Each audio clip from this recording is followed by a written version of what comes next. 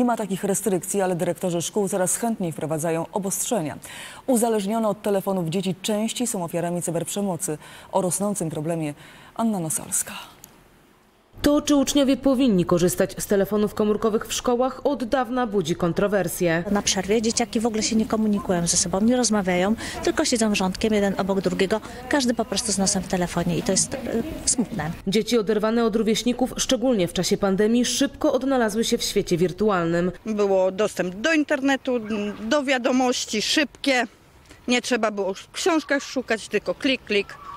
Odpowiedź gotowa na pytanie. Pandemia minęła, a problem pozostał. W wielu szkołach wprowadzono zakaz korzystania z telefonów. Dzieci zaczęły ze sobą rozmawiać, ganiać się, przeszkadzać, dokuczać trochę, hałasować, czyli po prostu stało się w szkole tak, jak być powinno. Tam, gdzie zakaz już obowiązuje, pedagodzy zauważyli poprawę relacji, ale też znaczny spadek hejtu i coraz groźniejszej cyberprzemocy. To były sytuacje sextingu, czyli namawianie na przykład dziewczynki przez kolegę do zrobienia sobie nagiego zdjęcia, czy w stroju kąpielowym, e, później przesłanie jemu, przesyłanie różnym innym, później chłopcom, kolegom, e, sprawy zgłaszane na, na policję. Cyberprzemoc to jeden z głównych powodów, dla których coraz więcej krajów decyduje się na wprowadzenie w szkołach całkowitego zakazu korzystania ze smartfonów. Tak jest już m.in. we Francji, Włoszech, Grecji i Chinach. W Polsce według obowiązującego prawa oświatowego wprowadzenie odgórnego zakazu jest niemożliwe. Nie możemy zakazać uczniowi y, noszenia telefonu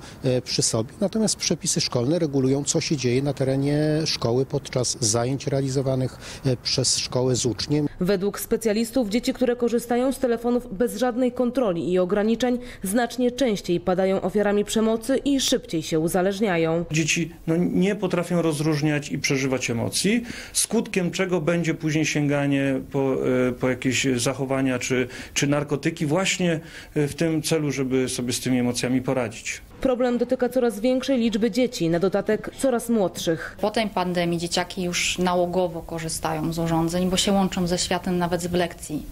E, więc po tym, co się działo na świecie przez ostatnie lata, ten problem będzie się nasilał i będzie się zwiększał. W Polsce ponad 80% dzieci w wieku od 7 do 15 lat ma swój telefon komórkowy. Powyżej 13 roku życia własnym smartfonem może pochwalić się już każdy. Dla wydarzeń Anna Nosalska, Polsat News. Tragedią zakończyło się powitanie chińskiego roku w Monterey